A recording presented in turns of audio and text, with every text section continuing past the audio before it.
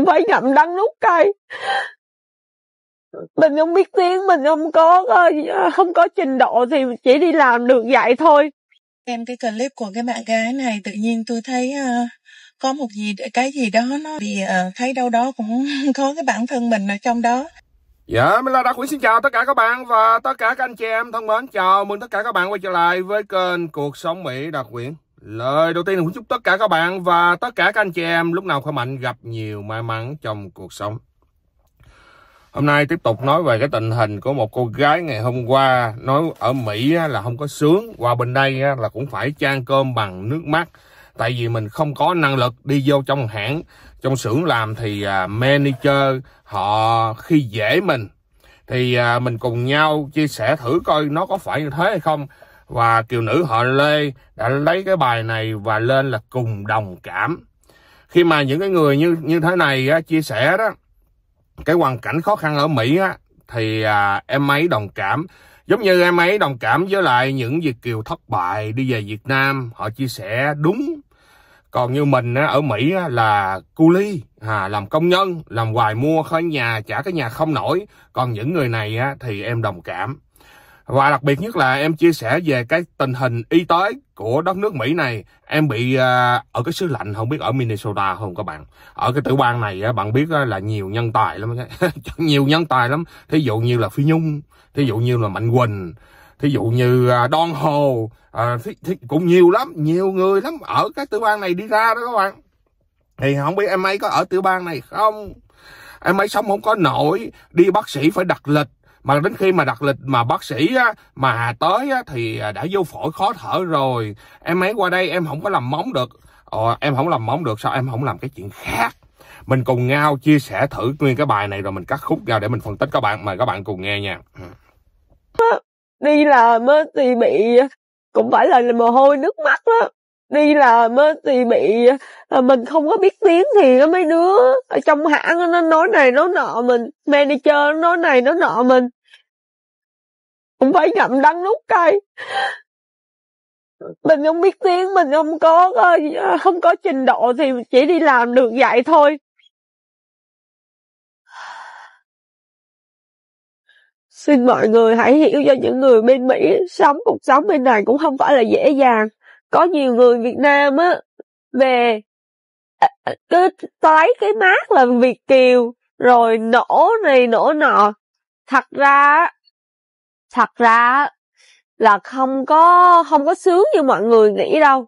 Làm bao nhiêu năm cực khổ để dành dụm được mấy ngàn tới tới lúc mà về Việt Nam á là xài.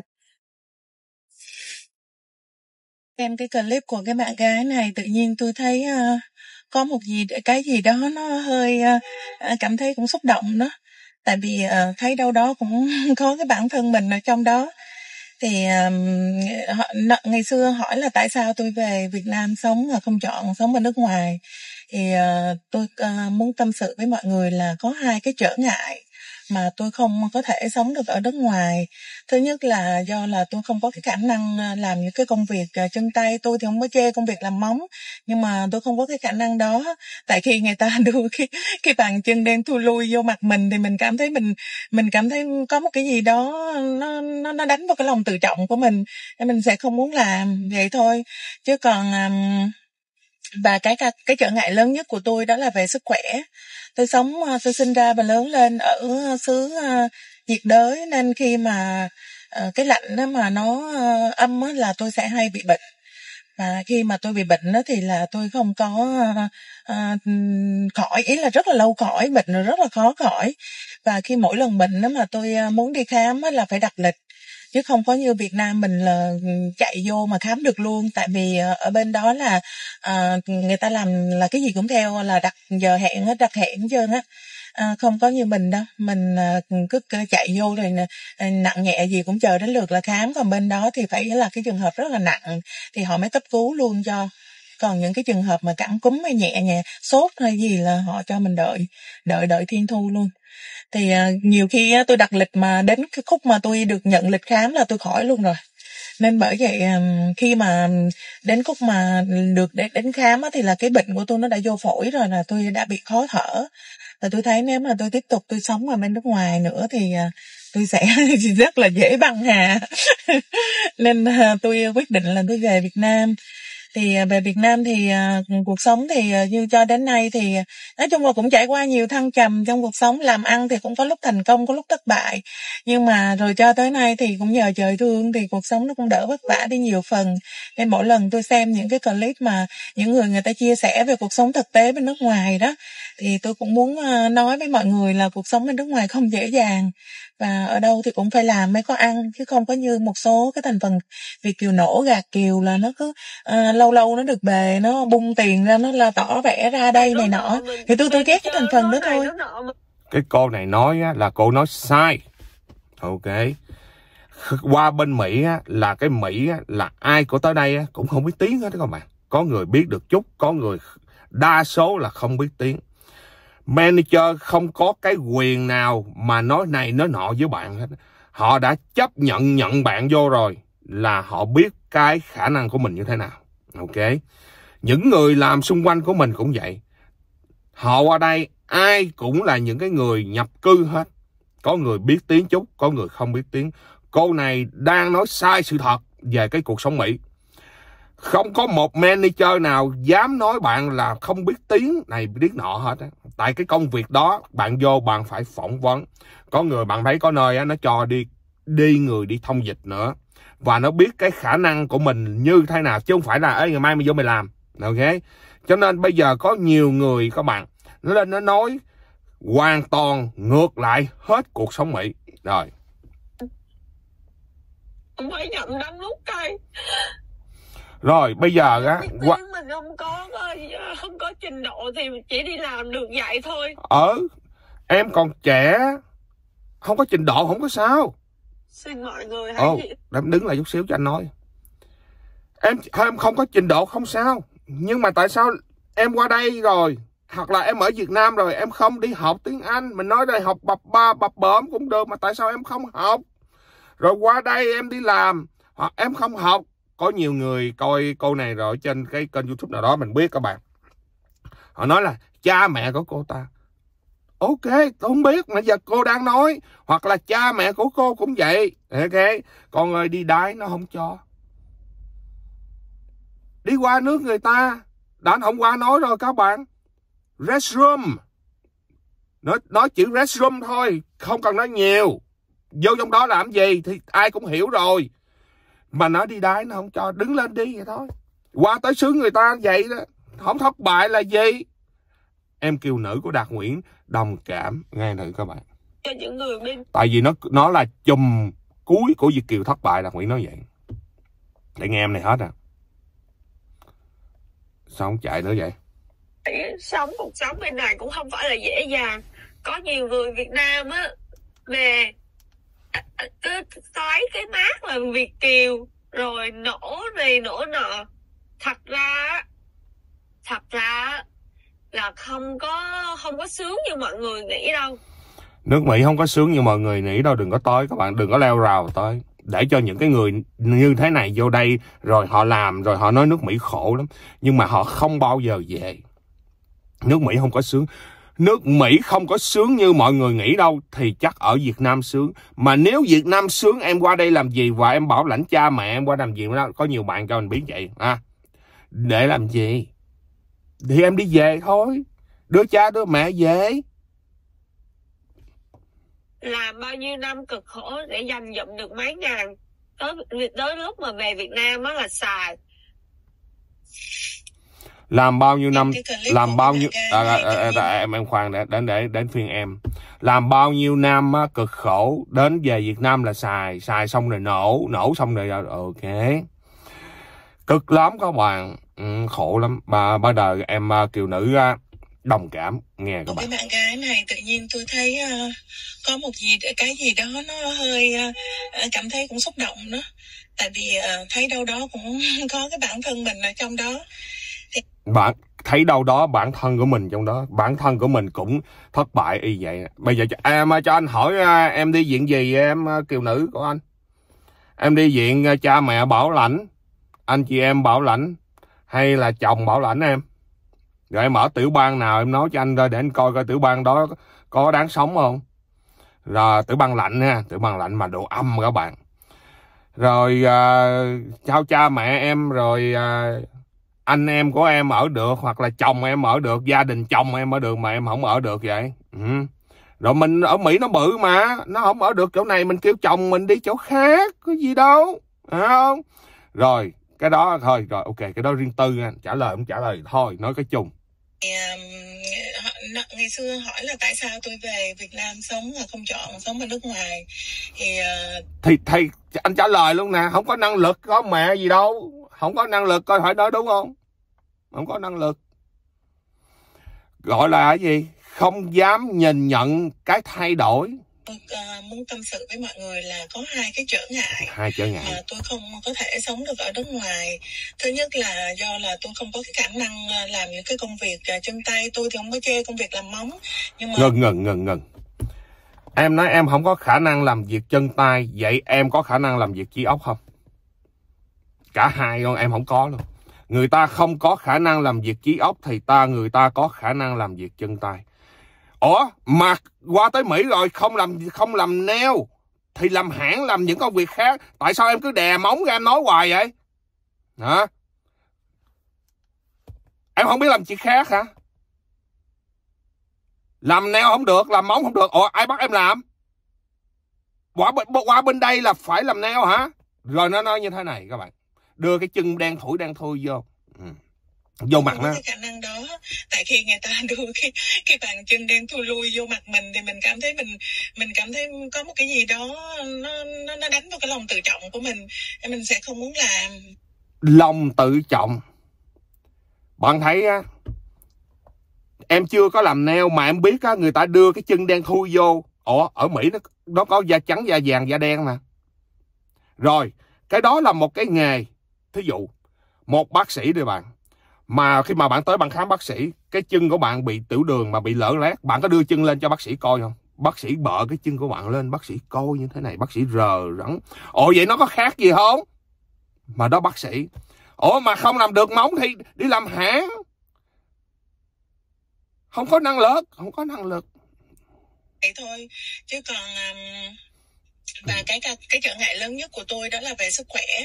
Tôi sống uh, tôi sinh thử coi em nói đúng ra và lớn lên ở xứ uh, nhiệt đới. Nên khi mà uh, cái lạnh đó mà nó uh, âm là tôi sẽ hay bị bệnh à, khi mà tôi bị bệnh đó thì là tôi không có uh, uh, ý là rất là lâu cõi bệnh rồi rất là khó cõi. Và khi mỗi lần bệnh đó mà tôi uh, muốn đi khám đó là phải đặt lịch chứ không có như Việt Nam mình là chạy vô mà khám được luôn. Tại ở bên mỹ á, bệnh là phải đặt lịch có đúng không các bạn? Đúng nhưng mới có một phần. Còn ở việt nam á là chạy vô luôn. Em uh, vô việt nam ở việt nam em chạy vô luôn thì em uh, đợi bao lâu em? À, từ lúc em vô đến lúc em đợi là bao lâu? Tại vì em không biết khi nào tới em. Phải đi cho sớm. Ai cũng tranh thủ đi sớm hết. Còn đây nó có lịch rõ ràng. Thí dụ 10 giờ 11 giờ hay là 23 giờ mình tới. Rồi khúc khúc kế các bạn khúc kế em nói thì ờ, ở bên đó là ờ, người ta làm là cái gì cũng theo là đặt giờ hẹn hết đặt hẹn chưa hết. Ờ, không có như mình đâu. Mình ờ, cứ chạy vô rồi nặng nhẹ gì cũng chờ đến lượt là khám còn Ừ. bên đó. Chờ từ sáng đến tối. Thì phải là cái trường hợp rất là nặng thì họ mới cấp cứu luôn cho. Là em đang nói xạo cái khúc này hoặc là em không biết cuộc sống mỹ ok còn những cái trường hợp mà cảm cúm hay nhẹ nhẹ sốt hay gì là họ cho mình đợi đợi đợi thiên thu luôn. Thì thí dụ bạn không muốn đợi thì sao? Thí dụ tôi không muốn đợi tôi không muốn đợi thì sao? Ở mỹ lúc nào nó cũng có đường đi đúng không? Lúc nào nó cũng có hai đường cho bạn đi. Mình nói lúc nào nó cũng vậy nhưng mà nó kể một đường. Nhưng mà tụi nó lên nó nói á, là mình chia sẻ chỉ có một phần này một ổ bánh mì nửa ổ là nửa ổ bánh mì. Một sự thật nửa câu chuyện không phải là câu chuyện. Nhưng mà chính tụi này nó lên nó chia sẻ chỉ có một phần thôi mà nhiều khi nó cũng biết các bạn. Và nó ngược lại nó nói mình chia sẻ chỉ có một phần thôi. Mình nói lúc nào cũng có hai đường đi. Em đi tới khám bác sĩ gọi alo hôm nay tôi à, bị đau bụng quá. Bác sĩ nói, ờ, ngày mai mày tới rồi nữa. Đang đang đau bụng mà mày kêu ngày mai tới sao được? Thấy không? Ví dụ như vậy các bạn nghe tiếp đi. Là nói chuyện. Nhiều khi tôi đặt lịch mà đến cái khúc mà tôi được nhận lịch khám là tôi khỏi luôn rồi. Nên bởi vậy khi mà ừ. đến khúc mà được đến đến khám thì là cái bệnh của tôi nó đã vô phổi rồi là tôi đã bị khó thở. Và tôi thấy nếu mà tôi tiếp tục tôi sống ở bên nước ngoài nữa thì à, tôi sẽ rất là dễ băng hà. Ôi ôi ô mỹ ờ à, thì khúc đây. Ô ô mỹ khổ quá gọi xong rồi chắc mỹ nó nó đi nó đi về thăm ông bà hết rồi. Ôi Ô da đang sốt, à, cao độ quá, cao độ quá. Alo, bác sĩ hả? Đang sốt, bị fever, tôi đang bị hai fever. Con tôi bị hai fever. Nhìn vô. Tuần sau tới được không? tuần sau tới mày mày nghĩ sao vậy mày? Tao đang bị hai fever, mày có thuốc gì không? Đấy không? Những cái này là những cái xạo láo của tụi nó. Bây giờ các cô chú anh chị em ở trên luồng like của mình. Các anh chị ở Mỹ rồi. Bây giờ á, mình gọi vô bác sĩ nó nói đúng cái phần đó. Mình gọi vô bác sĩ gia đình của mình á, là mình nói là mình cần gặp bác sĩ gia đình. Này nghe. Thì người ta tìm cái mọi cách nào mà người để mình gặp gần nhất tại mình rất cần các bạn. Nhưng mà cuối cùng không được thì sao? Không thể nào gặp bác sĩ gia đình mình đó. Ví dụ bác sĩ gia đình mình bận quá rồi thì nó đưa một bác sĩ khác vô. Thường cái trường hợp đó nó có rảnh cái giờ nào nó nó thảy mình vô cái giờ đó. Mà trong cái trường hợp mà nếu như mà bác sĩ đó không có không có một bác sĩ nào rảnh hết á, làm sao? Các bạn à? nó có đường đi không? Nó nói không có đường đi, nó phải đợi. Các bạn nghĩ sao? Nó có hai đường đi lần nó có hai đường đi. Nó, bây giờ cái đường đi á, mà mình vô mình gặp bác sĩ á, mà bác sĩ nói là không có không có giờ rảnh cho mình á, vậy là dân mỹ mà kiệt quệ à nó có ba đường đi bác sĩ gia đình không được rồi. Cái chỗ đó là không có bác sĩ gia đình không có bác sĩ nào thế hết á. Và nó có hai đường đi khác. Cái đường đi á mà nó à, gọi là cần liên tức thì á khẩn cấp chạy vô emergency à, gọi là emergency đó. Chạy thẳng vô khẩn cấp đúng không?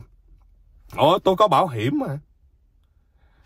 Còn cái kể mà giống cái em mà bị nhức răng á mẹ nó không dám vô đó ok, tại vì nó sợ đóng tiền, tại vì nó lì và nó liều các bạn. Ok. Nó không biết, điếc, nó không có sợ gì hết á. Nhưng mà nếu mà tôi cảm thấy tôi có sốt, tôi có bệnh, đúng rồi. Và đặc nguyễn cũng từng đi mà. Bạn đi vô ơ trình khe. Sau giờ làm việc giống như ở Việt Nam vậy đó, nó có ơ trình khe. Ok ơ trình khe. Bạn đi vô đó khỏi đặt lịch, tới trước làm trước, tới sau làm sau bạn biết rồi, cái giờ đó là 4 giờ rưỡi 3 giờ rưỡi thường chắc 3 rưỡi nó mở cửa các bạn. Tại vì các bác sĩ thường vậy xong rồi 3 rưỡi nó mở cửa.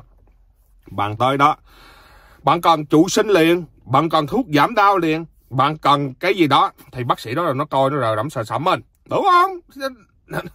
Các cô chú anh chị em thấy đúng cho xin số 1 cho xin một like. Sau đó rồi họ cho mình cái to thuốc. Đi đến lạnh lấy mua thuốc. Thuốc đau, thuốc nhức, thuốc trụ sinh gì đó ok dễ uống. Giống như các bạn mình bị uh, single đó là bị giờ leo một lần. Một lần á một cái chấm thôi. Nó nổi vậy nè. Giờ mình nói bị giờ leo ở đó đi bác sĩ mình nói không trời ơi cái này có cái mục à. Ngày mai nó một về các bạn. Cũng hên gọi bác sĩ gia đình có liền do bác sĩ tháo ra bác sĩ rờ nhìn ghê lắm đỏ lét mà do bác sĩ cho uống trụ sinh hai ba bữa là nó nó hết liền. Mà nó đau nó nhức dữ lắm. Lần thứ hai nó bị ngay đây nghe nè nó mọc lên một mụn mà bạn biết rồi nó mà mọc một cái là banh mặt luôn hết hồn. Nói lần này chạy vô tại vì mình không thể nào gọi bác sĩ mình liền được hết á. Chạy vô urgent care. Ok. Ngồi đó đợi thì đợi chừng uh, tùy theo cái số người bệnh. Thì bạn đợi 5 phút 20 phút 30 phút gì đó tùy. Xong rồi đó đó bác sĩ nó ra nó tao bị bị à, uh, single cái bắt đầu người ta coi coi đó, đó đúng rồi.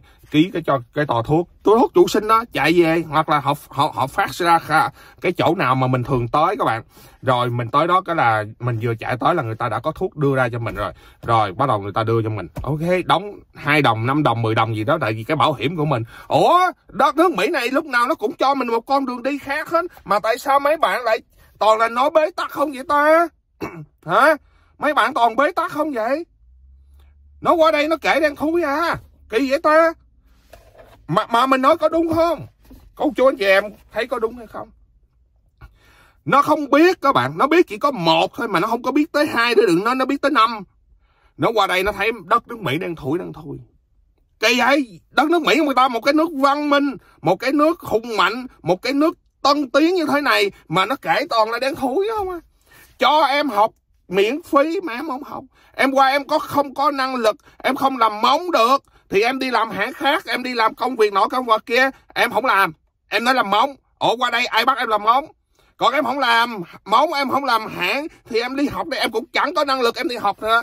Còn còn em nói anh á, là công nhân. Ok công nhân. Em học được như anh không? Vô trong technical college vô cao đẳng học thử coi. Mẹ nó học không được nó đành nó phải bỏ đi về ở ở xứ này không làm được cái gì. Trời đang ngoài đang tuyết nè. Đang tuyết các bạn. Thì em ở đi, đi xứ ấm em ở. Tại sao em không ở? À, rồi em trách mỹ. Hèn chi em ghét mỹ dữ vậy ha? À, mấy bạn nói rồi em bị chồng em đá là đúng rồi. Hay là em tự em bỏ? Không biết nữa. Nhiều khi bỏ chứ lấy được tiền à, tiền này tiền kia của người chồng các bạn chết cha tới giờ vô cài rồi. Dạ thôi, mình xin tạm dừng video đây. Xin chúc cô chú anh chị em lúc nào khỏe mạnh gặp nhiều may mắn trong cuộc sống. Các bạn thích cho mình xin một like ủng hộ tinh thần. Và hẹn gặp lại sau. Xin chào, tạm biệt. Bye bye.